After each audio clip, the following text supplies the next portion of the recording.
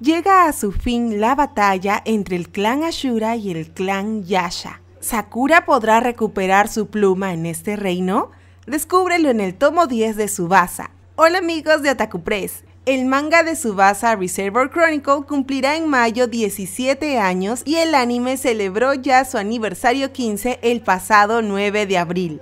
Si les gustan las obras de Clamp, suscríbete al canal de Otaku Press y activa la campanita para que YouTube te avise cada vez que subimos un nuevo video. Ahora sí amigos, hoy continuamos con esta historia que nos tiene con ansias desde hace mucho tiempo. Para resumirles un poquito, los clanes de Ashura y Yasha siempre han guardado resentimientos, pero resulta que sus dioses en realidad están escondiendo sus verdaderos sentimientos.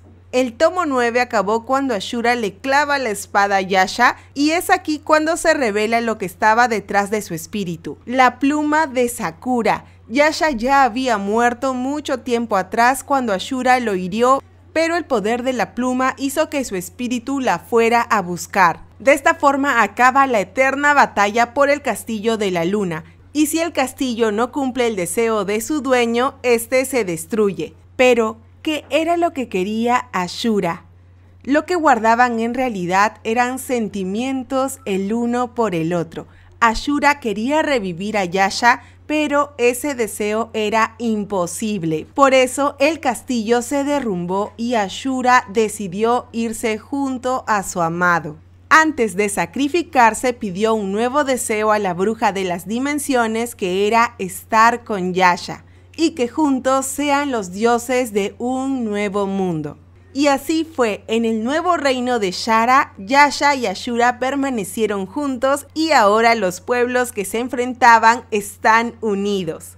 El reino de Shura donde hubo esta terrible batalla era el pasado del reino de Shara donde ahora reina la paz. Esto significa que Shaoran y los demás cambiaron el futuro.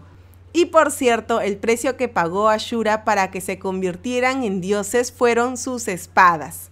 En otro momento, mientras que los enemigos de esta historia siguen planeando cómo acabar con los planes de la bruja Yuko, Sakura y los demás van a otro mundo.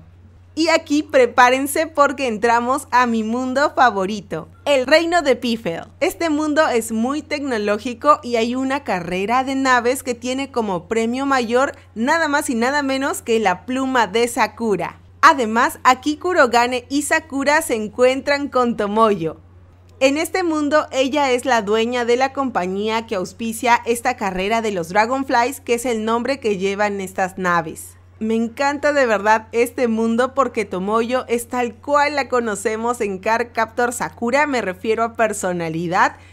El encuentro entre Sakura y Tomoyo son prueba de ello y además que lo quiere grabar todo. Aquí solamente le faltó el traje. Hasta el momento este es mi mundo favorito porque vemos a Sakura muy decidida en ganar esta carrera para recuperar su propia pluma. Y eso no es todo porque tenemos varios momentos románticos como este cuando Shaoran le enseña a manejar la nave a Sakura. Recuerden también que esta Tomoyo tiene la misma apariencia que la princesa del reino de donde proviene Kurogane. Igual en Subasa ya saben que nos podemos encontrar más de un personaje que hemos conocido en reinos anteriores y este es un claro ejemplo porque en la misma carrera aparecen varios de los protagonistas de los reinos anteriores. Y con la exposición del premio mayor de esta carrera acaba el tomo 10. Es muy importante también que conozcan que la pluma de Sakura en cada uno de estos mundos suele cumplir una función bastante relevante. Normalmente está vinculada a algún poder. Y en el mundo de Piffle, la pluma de Sakura es una batería infinita. Tiene tanta energía como para toda la ciudad y por cierto para cualquiera de los vehículos que transitan por ese reino. Por eso es que es tan tan deseada por varios de los que están participando en esta carrera.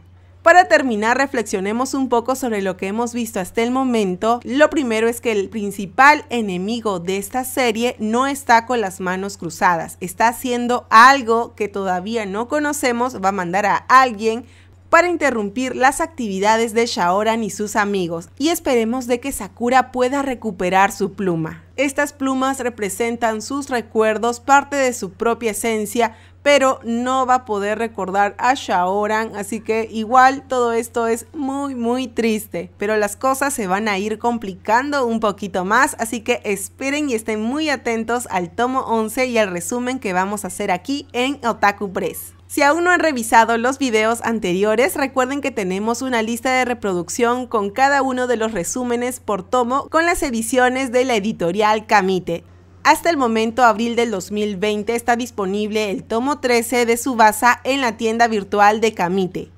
Muchísimas gracias por ver el video, si les gustó recuerden dejar un comentario por aquí abajito, suscribirse al canal de Otaku Press y activar la campanita.